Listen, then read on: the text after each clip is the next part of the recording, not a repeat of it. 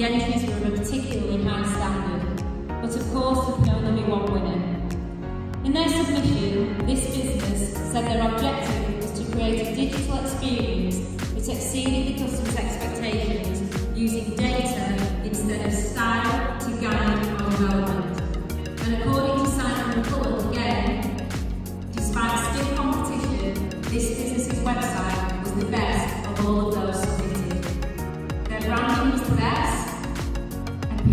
very slick reassuring to the user.